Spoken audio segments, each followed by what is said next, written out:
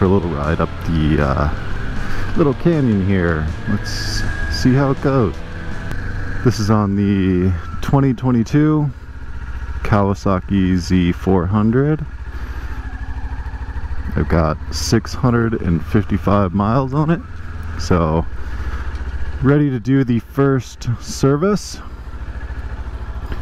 and give you my review, see what uh, what I like, what I don't like about it. Uh, but overall, I mean, it's a uh, it's a good motorcycle for beginners. Just moved out here before I had it in California and didn't really feel comfortable riding the streets and the highways out there. It's just a little crazy. I'm a single dad. I got three kids at home, so I'd rather be uh, a little safe than riding around in the streets of LA. So, here we go. Let's see.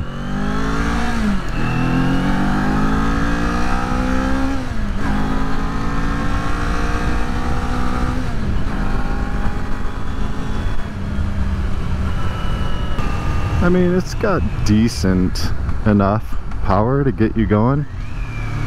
Uh, nothing special, but you know, does the job.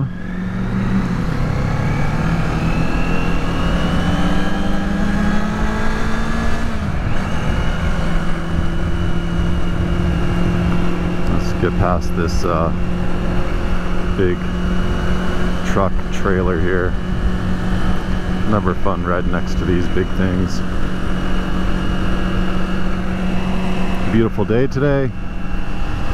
Sun is out. It's a little brisk. It's I think it's uh, mid 60s right now, which isn't bad.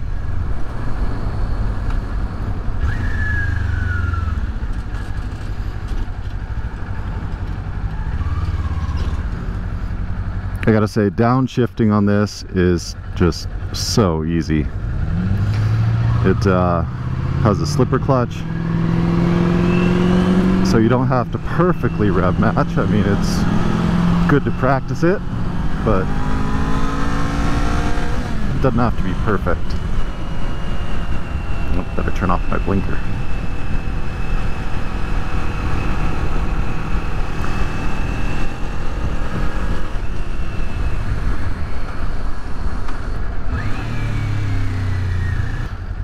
The one thing I do have to say about the exhaust on this is at higher speeds, it's so quiet that it's uh, almost even hard to hear.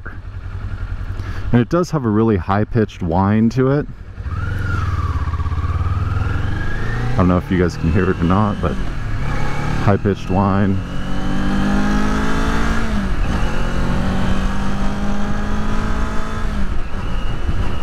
We got the beautiful fall colors up in the mountains. That is uh, really nice right now. I think this weekend gonna go on a ride up through the canyons and that is just some beautiful riding. I mean, just amazing. The, I just upgraded my helmet. I've got the Shoei RF 1400 before I had the HJC i10 and man that thing was just brutal as far as noise wind noise. Just like unbearable above like 45 miles an hour. It was unbearable. So can, I don't know if you can see but this is a pretty steep hill. And fourth gear you know 7,000 RPM it's got power to get up it, plenty of power.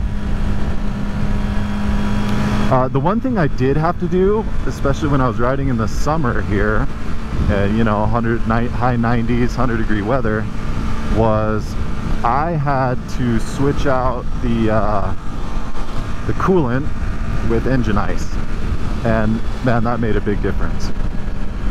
That made a huge difference. I mean, before it was, you know, the heat levels were all the way up. pretty much the whole time riding, which it shouldn't be. And engine ice, I would say, brought it down at least one bar.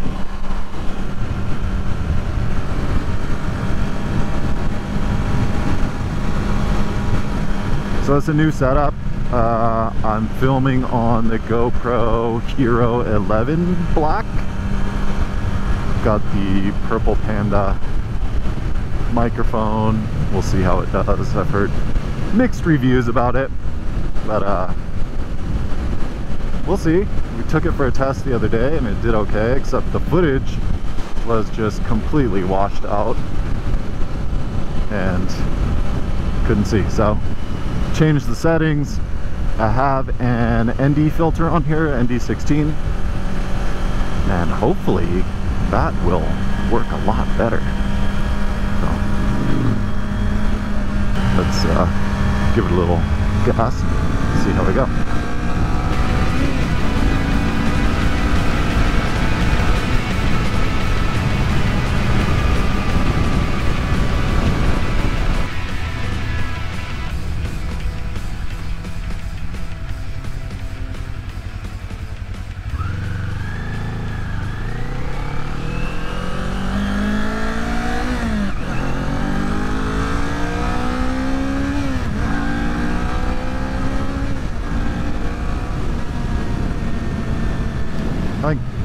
For this uh, this hill is kind of the sweet spot. I mean, fifth gear, it just lags going up these hills.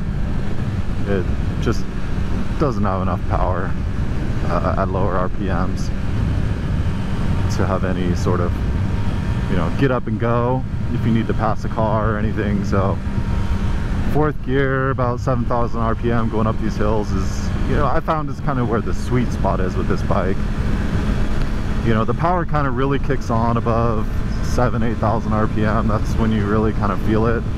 Below that i mean you know it's it's a 400cc 399cc bike so you can't expect too much from it. So i bought it new. Um, i actually got a pretty good deal on it i think. The dealer had a uh, had $500 off the bike and uh, i was able to negotiate a pretty decent deal. Um, with their, you know, they, they add on all their fees and everything. So I negotiated some of those out. But uh, I'm really happy with it so far. You know, there's been a couple times when I've been riding and as a beginner and I'm just saying, oh man, thank you that it's only a 400cc bike because if it was anything higher, I think, you know, I, I could have gotten myself into trouble, you know, and learning to ride a little bit more and shifting gears, you know, you accidentally shift in a corner and you know or you, you miss a gear and it's uh, you know sometimes you're just happy that uh, it's only 400cc bike.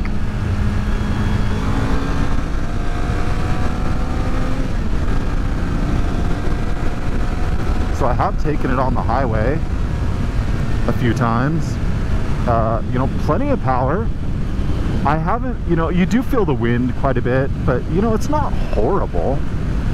I've ridden in semi-windy conditions, you know, you go you go past big semi trucks at 80 miles an hour, 85 miles an hour, and it's not terrible. Uh, definitely manageable. But look at that view, wow. It's so beautiful here. The fall,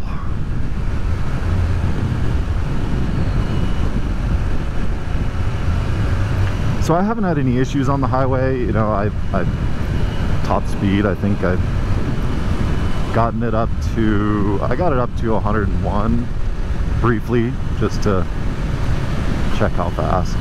Uh, let me preface that by saying I'm not a beginner rider. I've ridden motorcycles before. I had a uh, zero electric motorcycle. I built my own electric motorcycle and so I've been riding for several years but uh, this is my first gas motorcycle and I switched just because I wanted to go on longer rides you know when it's cold outside the uh, electric bikes don't do too don't do too great range-wise. Um, you know, torque-wise, they're fantastic. They're a lot of fun. Uh, but you know, there is something visceral about a gasoline motorcycle. You can feel the vibrations.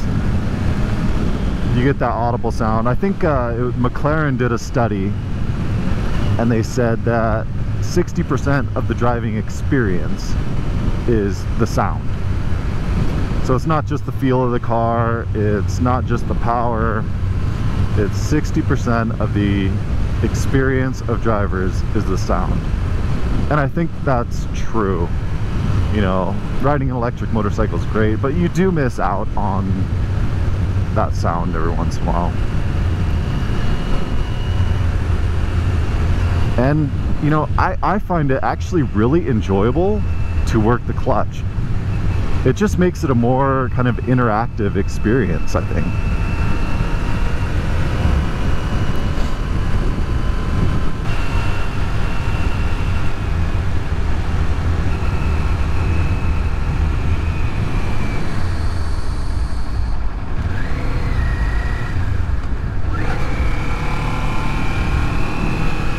There's a little street up here to turn around on. Yeah, we'll go here.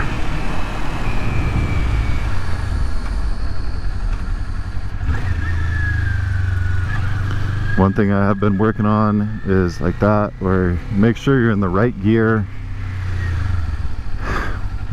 before the turn. Got quite a bit of rocks here, so we'll keep it in second gear. Work the clutch, find that friction zone. And there we go.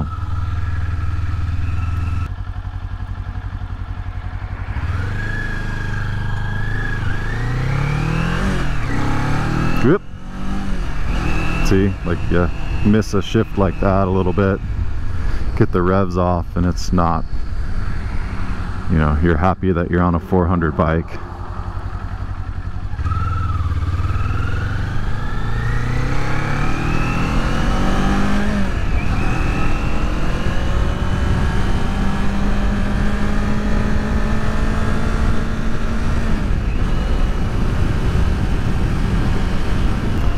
It is a bit chilly.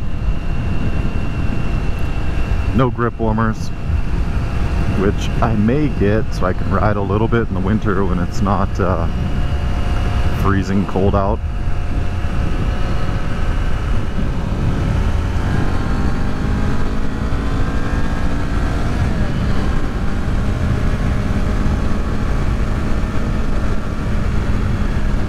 Climb back up that hill, and it's actually, you know, it doesn't look like it, but it's a, uh, it's 2,000 feet of elevation going up over this pass here.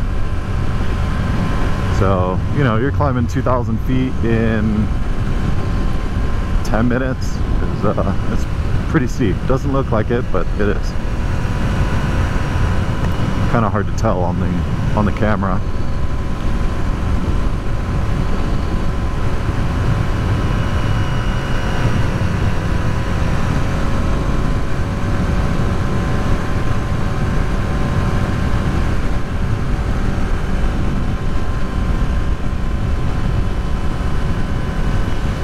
So uh, I was going to talk about the brakes as well on this. You know, I found the brakes to be pretty good, pretty responsive.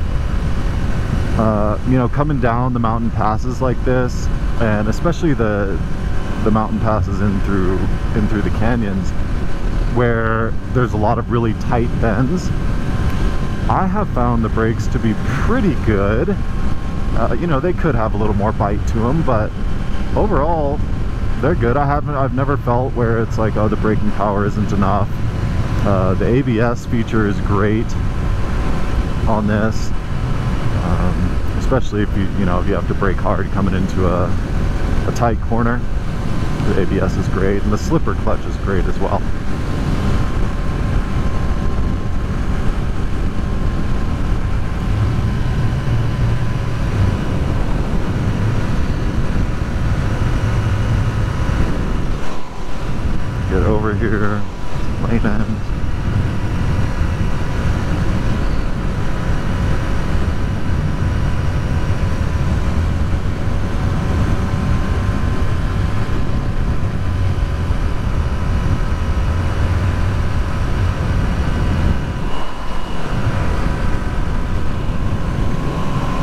starting to get some colors on the trees. It is, uh, what, October 4th, I think, 5th, 6th, something like that. October 6th today.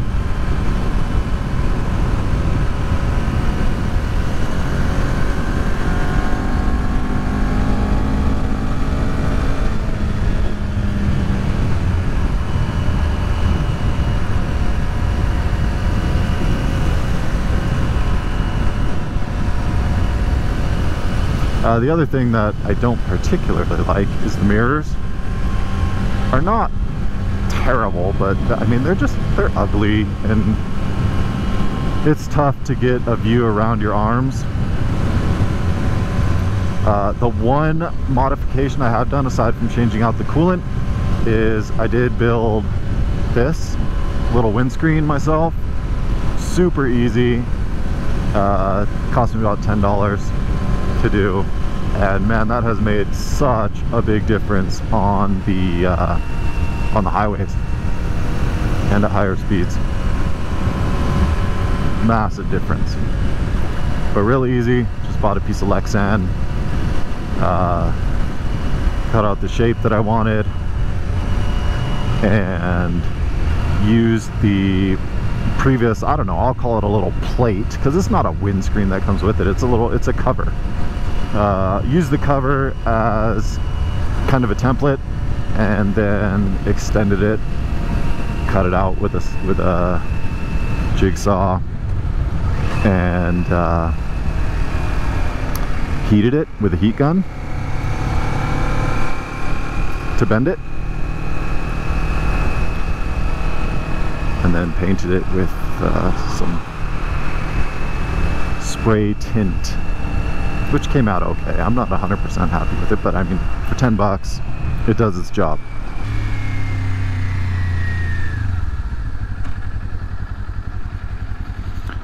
All right.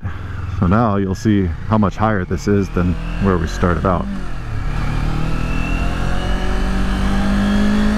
You can really see the elevation change here. Beautiful day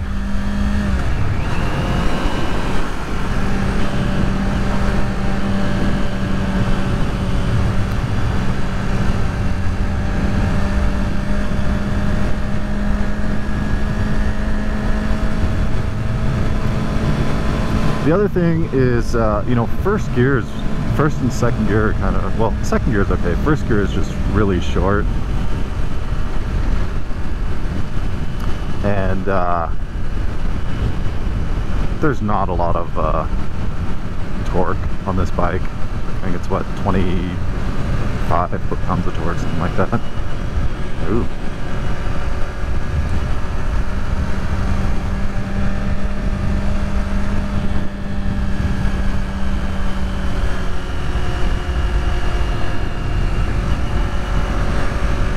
The other thing that I have been working on is around corners, you know, trail braking a little bit. Just applying a little bit of pressure to the rear brake. Gives you a little more stability in these in these corners.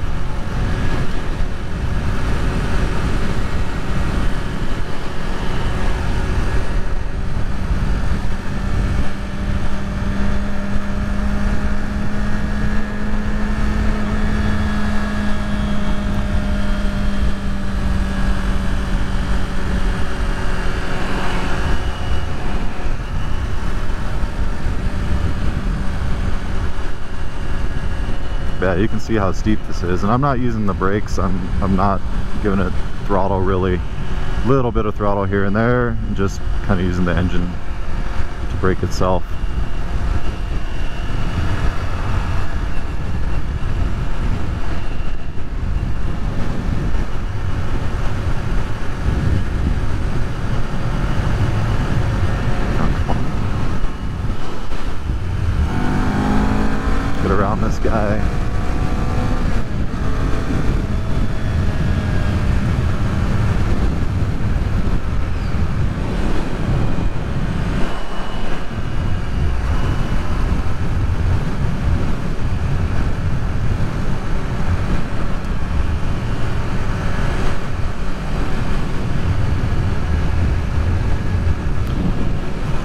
say the best part about this bike is the weight.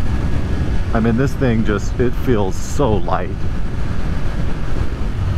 Going through those mountain passes, I mean, just some of those corners are tight and you can just flick this bike around the corner so easily. The switchbacks are super easy on this bike. Uh, it, it's, it, you know, it doesn't, doesn't feel like you have to move anything. We're at 5,100 feet. I think up at the top it's like 6,400 feet. Above sea level, that is. But yeah, uh, the weight of this is great, especially, you know, braking. Weight has an effect on everything. It's the braking, it's acceleration, it's the handling, it's the suspension. The suspension is a little uh, a little rough. I haven't adjusted that at all in the rear. Front you can't adjust.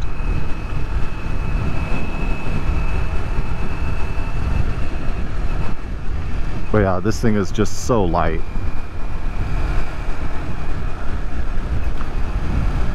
So the other thing, the other negative thing is the seat. And I know everyone has talked about this seat and how it pushes you forward until it crushes your crotch.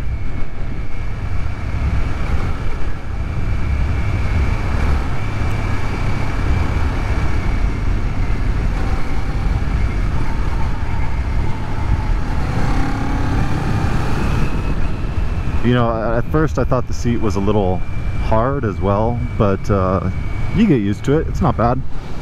It, but it does just push you forward so bad.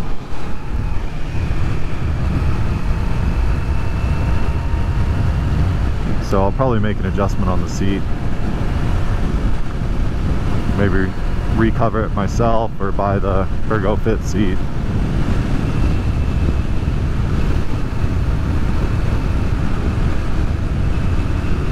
Just because it is really uncomfortable to keep getting pushed forward. I don't enjoy that.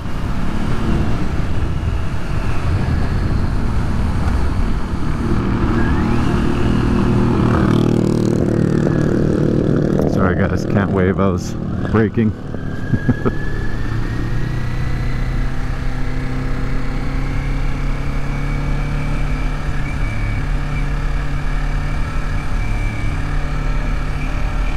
but yeah, this is the uh, 2022 Z400.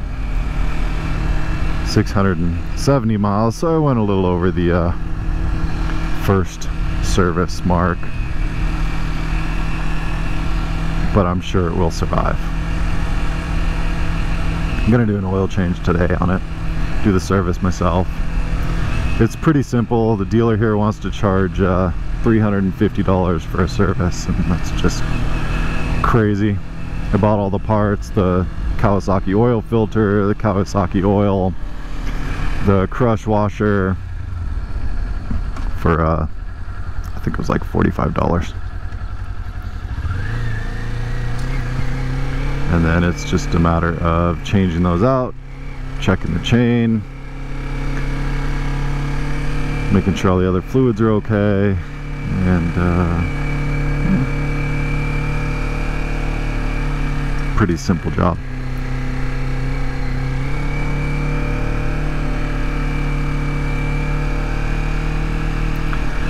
So here we are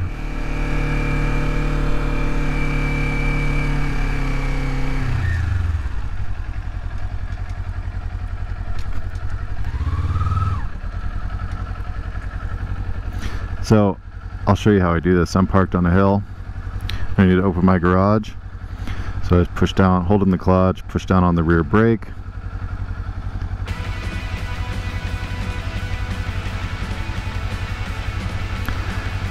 And then keep foot on brake. Let out the clutch until you feel the friction zone. Give it a little gas, let off the brake, and there you go.